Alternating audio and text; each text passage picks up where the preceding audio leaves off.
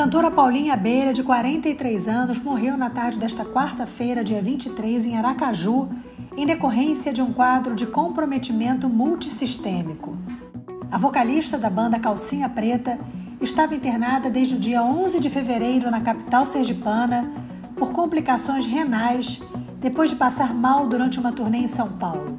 A artista foi para a unidade de terapia intensiva no dia 14 de fevereiro, onde começou a fazer diálise. Três dias depois, ela entrou em coma. A informação foi publicada no perfil oficial da banda Calcinha Preta no Instagram na tarde desta quarta-feira. Paula Menezes Nascimento Lessa Viana estava no Calcinha Preta desde 1998. Nascida em Simão Dias, cidade do interior do Sergipe, Paulinha Abelha, como era conhecida, começou a cantar aos 12 anos em trios elétricos. Ainda jovem, fez parte das bandas Flor de Mel e Panela de Barro mas precisou interromper a carreira por dificuldades financeiras.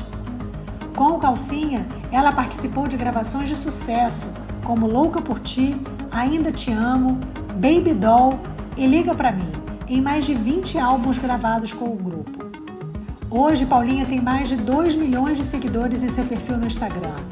Ela namorava desde 2017 o modelo Clevinho Santos. A Calcinha Preta gravou um DVD de 25 anos em fevereiro de 2020 e retornava à rotina de shows após meses sem apresentações por conta do